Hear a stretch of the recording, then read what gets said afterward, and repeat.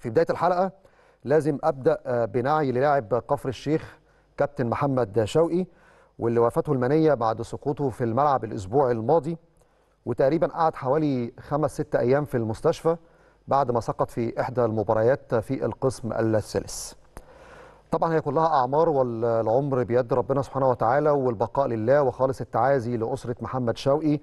وخالص التعازي لنادي كفر الشيخ ولكل المسؤولين